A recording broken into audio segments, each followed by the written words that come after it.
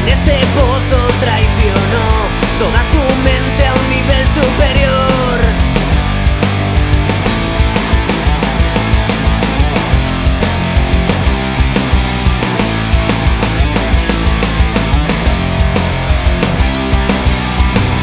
Fuiste a la ruina al abandonar toda la gente que tanto